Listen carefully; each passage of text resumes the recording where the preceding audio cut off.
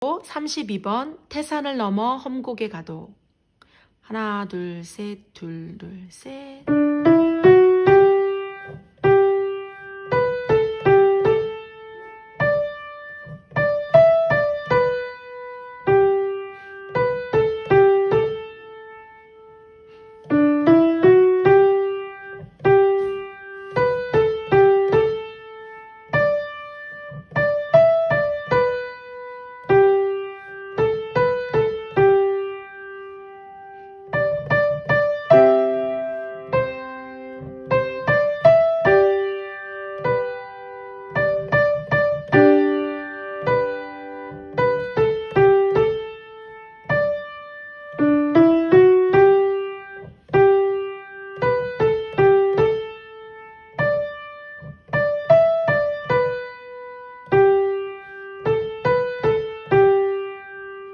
전체적으로 조금 빨리 가보겠습니다.